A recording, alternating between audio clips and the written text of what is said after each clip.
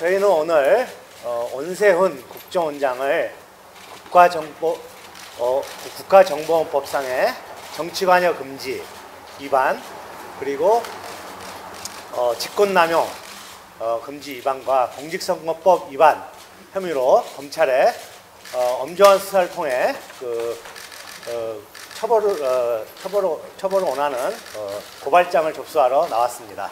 오늘 어, 민주노총을 중심으로 한 4대강 반대 모임에서도 아, 고발을 하는 것으로 알고 있고 매일 아, 전교조에서도 고발을 하는 것으로 알고 있습니다.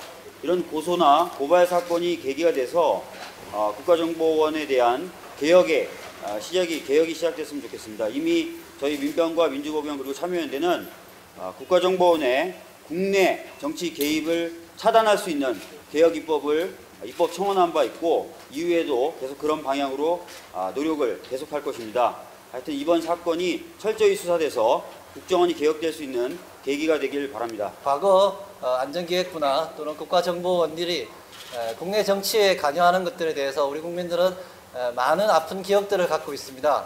어, 이명박 정부 들어서 어, 대통령이 최측근인 원세훈 씨가 어, 국가정보원 원장이 되면서 에, 국가정보원이 다시 정치 개입을 하는 행위가 그동안 많은 우려를 어, 갖고 있었는데 이번에 일로 그것이 진짜 사실이었다는 것이 확인이 되고 있는 것 같습니다.